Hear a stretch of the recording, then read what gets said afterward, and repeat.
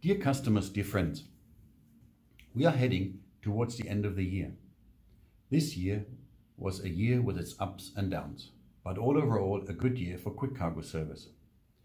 The German Forwarders Association reported this week that an overall downturn of 8.2% will be expected for the global freight industry by the end of the year. Even though the last quarter of this year were unexpectedly strong for us. The German forecast says that the coming year, 2021, will show an increase of 3.2 up to 3.4% without knowing the outcome of the international trade conflicts with the influence of the American leadership. But we expect that the volumes of the previous year may not be reached before 2022. Quick Cargo Service luckily managed to grow this year. The absolute winners were our e-commerce and pharma section but also our core general cargo business remained stable.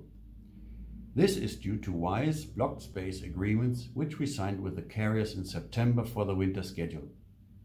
Nearly all of our regular customers could be serviced without major delays on space problems.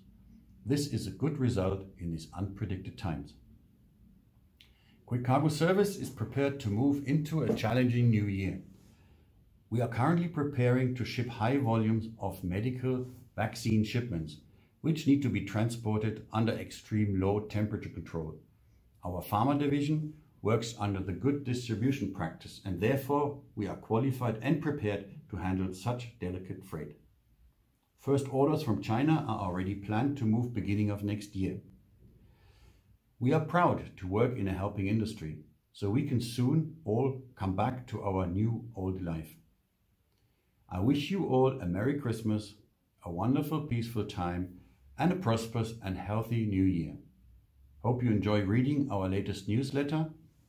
Your Stefan Hartmeier.